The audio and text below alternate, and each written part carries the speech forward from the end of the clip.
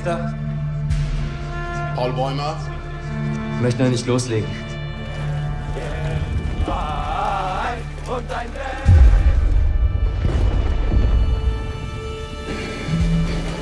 Wir sind jetzt an der Westfront.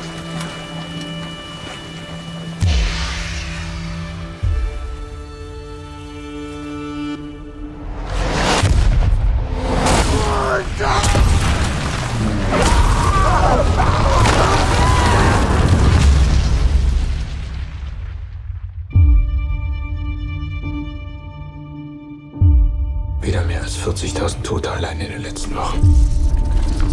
Es ist vorbei.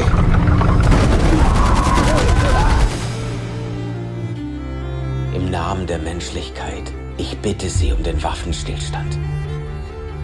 Vous avez 72 heures pour accepter nos conditions.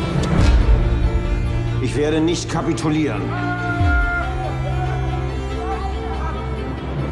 Meine Mutter wollte nicht, dass ich in den Krieg ziehe. Ich wollte ihnen zeigen, dass ich das kann. Ach, Paul. Ja, mal nach Hause kommen.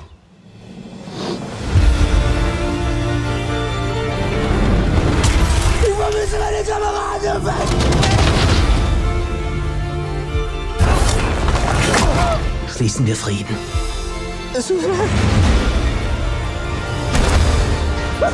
Ich habe Angst vor dem, was kommt. Du musst jetzt tapfer sein. Für die, die es nicht geschafft haben. Für uns alle.